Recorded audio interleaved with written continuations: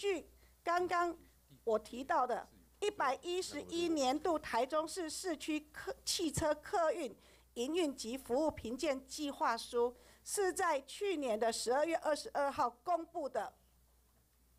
你知道这次招式的剧业剧业剧业，既然是满分最高分呢？我不知道是算错了还是怎么样哎。